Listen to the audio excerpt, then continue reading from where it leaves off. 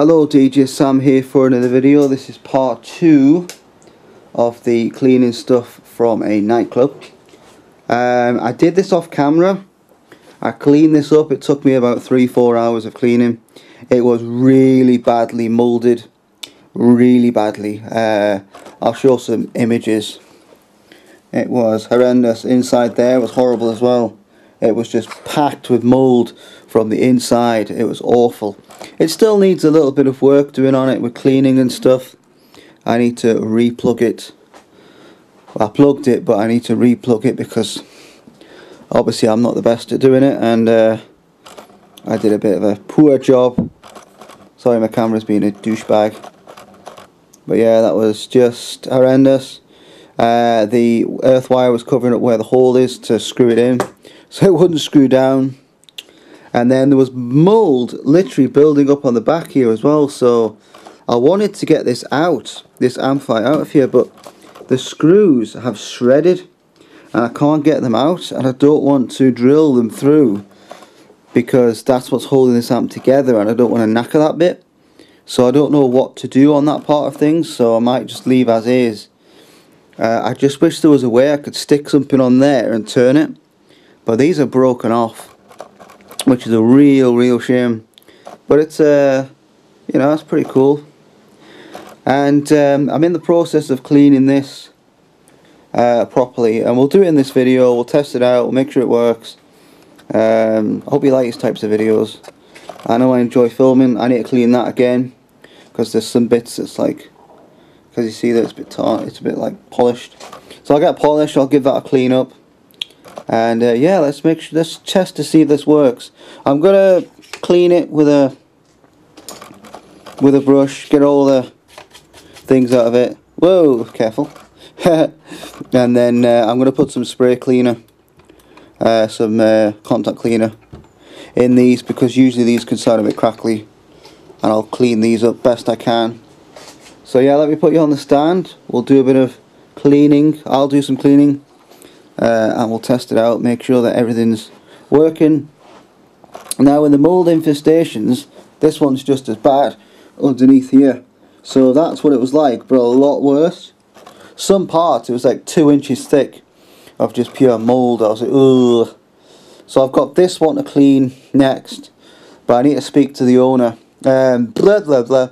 The previous owner to see whether he's got whether he'll sell me the amp unit to go within this unit and then I can get this one working as well. I'm not sure what I'm going to do with these. Uh, I'm a bass player. I've got my bass here. I do play bass, not very well, but I do play. Might show a bit of that at the end if this is all plugged up. But yeah, let's just see how we get on. Let's go ahead and clean this up. I'll just move some stuff out of the way a little bit so you can you can see what we're what we're what we're going to do. Um,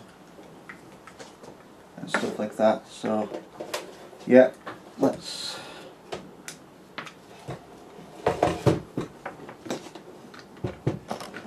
Okay, so you can probably see there, hopefully. So that's my plan now is just to get this up and cleaning, uh, just so that it's all nice. If I can see there's dirt in it, spray the insides of here, make sure that everything's, and I'll clean the outside of it and uh, I'll polish the front before I put it back together. Let me just adjust you there. Um, yeah, because we've got a fair bit of cleaning to do. Uh, a fair bit, I must admit. and I do love cleaning, I do. I do love cleaning electron electronical equipment because it's cool. One of my favourite things to do um, is cleaning. So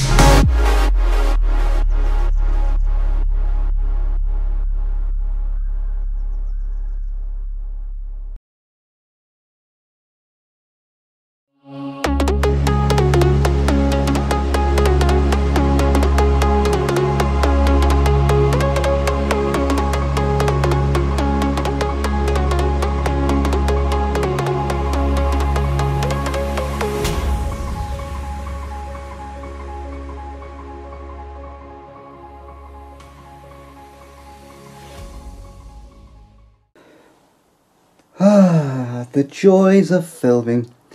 I lightly squeezed the uh, the thing to focus it and it uh, stopped the camera from recording and I wasn't aware of it and I just carried on. And I've just recorded a whole thing and obviously this wasn't wasn't being filmed. So I, it does work. All the channels are working etc I'm going to show you and go through go through with it. So what you need to do first first thing you need to do is switch the mixer on okay because when you switch it on it then makes this like signal go like that then switch your speaker on. Okay? Because if you switch the mixer off with the speaker on this is what you're going to get. And that is not good and it'll happen when you switch it on as well. So make sure you switch your speaker off mixer on give it a couple of minutes then switch it on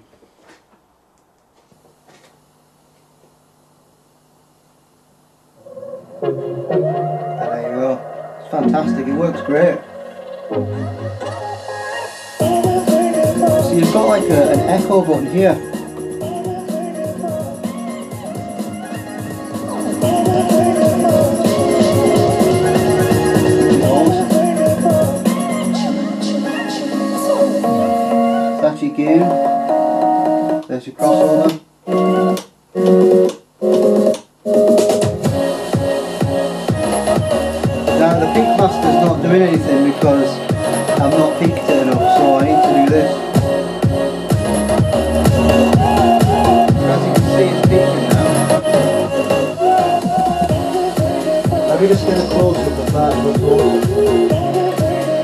The, ironic thing is it goes blue when it's turned up all the way. There.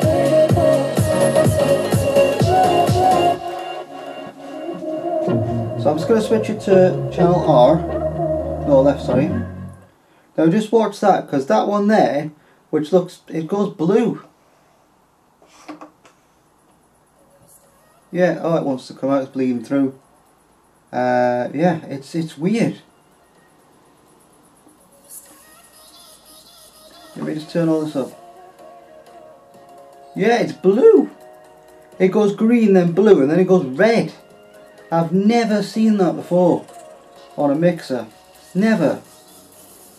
Yeah, it's weird. That's weird as anything. I've never seen that before. Never.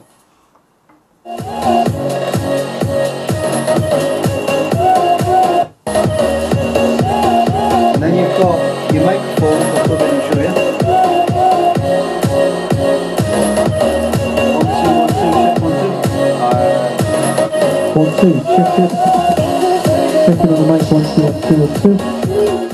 One, two, one, two, that's the microphone. That's the microphone. So the microphone, you can uh, you can put echo on it, so that when you uh, mess around with these echo, one, two, echo, echo. That should be. Oh, hold on, DJ mic. Echo. Echo, echo, echo. One, two, one, two, one, two, one, two, one, two, one, two, one, two, one, two, one, two. So that works. And then what you could do, you could do talk over. One, two, one, two. Check, check, one, two.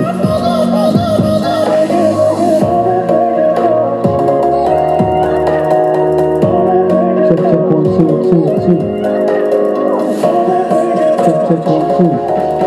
One, two, one, two, one, two, one, two.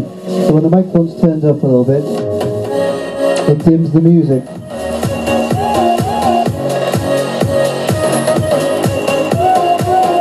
Two to three. See that pasta, she wants more. Five to six to the seven to. She needs another jelly mix. A jelly mix. She needs another jelly mix. She needs another jelly mix.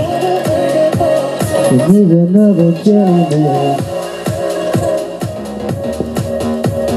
Yeah. And then you got your low, low, low, low, low, low, which is quite loud. And then you got your high, high, high, which is pretty good. Very good. I like that song a lot. It's pretty cool. Very good. Very good. Yeah, so it works. And it works really well. Um, yeah, it's definitely going to be added to my PA collection because these are always something that I'm I like uh, and I'm hopefully going to get more stuff from that nightclub as well because all the original stuff that was in there had been put in the shed for as far as what I for as far as I know so there'll be some more good stuff like this in the shed. So yeah, it's awesome. I love this um, this thing. This unit's just class. Really, really is. And uh, it's definitely going to have a lot of use. Definitely. Um, yeah, so like I said to you before, uh, in the start, when you switch this on, make sure that you switch it on by the mixer first before you switch the speaker on because obviously if I switch it off now you're going to get that and it's going to do it when it comes on as well because that's going to go like that. So that's why you should switch your speaker off and switch the mixer on first so that you don't get that horrible feedbackiness and this needs to be rewiring because if I wiggle it around like this yeah yeah you see what I mean wow that's not good yeah the actual um, the wiring of this isn't actually wired properly. Um, I don't know what it is that's going on within this, but yeah, it's a little bit sloppy. That's weird. So the screw goes there, and on that side, I've never seen that before on a plug. It's always been there and there. That's weird. Okay, I'll have to do that off video. I need to rewire that, and I need to rewire my amplifier as well. But yeah, that's just an awesome piece of image stage line stuff. Yeah, definitely gonna...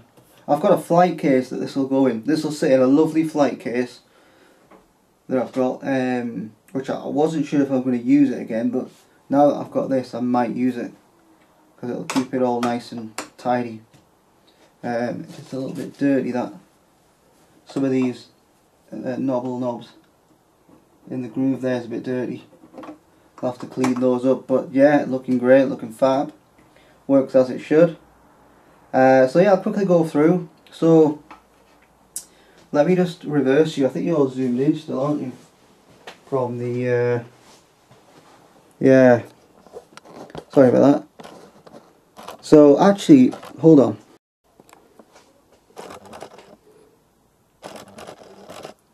Sorry about the folks in there, but that's your your phones and your booth and your light lamp.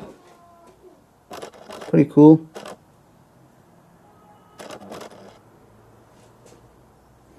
There are all your different things all your different channels. Pretty good.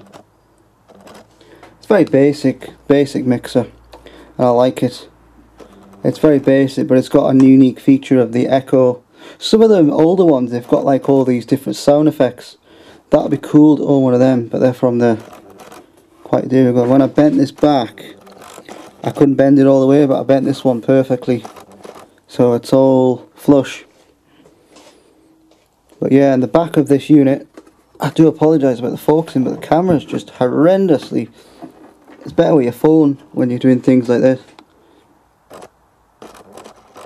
But yeah, you can see all your inputs at the back. So you've got three phono inputs, two CD inputs, and you've got line A and B so you can switch between the two. So essentially you've got five channels and you've got your master your booth and your record. I think it's a cool little thing. This is probably worth uh, I would say around 60 quid like if you're 60 70 quid. In, in this condition it's, it's it's what it's worth. But anyways that's going to be it for this one until I get everything until I get until I get more updates and more. This might be a part 3 I'm not sure. If I get any more stuff it'll be a part 3 but we'll see how it goes. But anyways I hope you enjoy this video. It's been DJ Sam. Uh, please like and subscribe. Share with your friends comment. I'll see you guys again soon. Thanks for watching